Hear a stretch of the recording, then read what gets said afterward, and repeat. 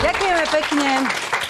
E, ďakujeme pekne, príjemný dobrý večer, milí priatelia. Možno si ešte pamätáte, že presne pred týždňom bol 1. apríl a my sme vás tu na našej pôde pred týmto dňom tak trošku aj vystrihali, ale asi ste na nás veľmi nedali, lebo napríklad jeden náš spoluobčan prišiel piatok popoludní z práce domov, na stole si našiel odkaz od svojej manželky, tam bolo napísané, musím súrne odísť k máme, vrátim sa až v nedelu večer a náš milý spoluobčan si pozval kolegyňu z práce, tak na návštevu a na to, že je 1. apríl, prišiel až vo chvíli, keď otvorila dvere v najlepšom manželka. No.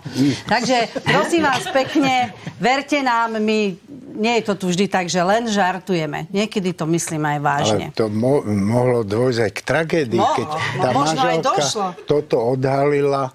Predstavte si, že by on potom prišiel na druhý deň domov a ona by bola obesená v spálni a na stole by bol, bola cedulka večeru máš v trúbe.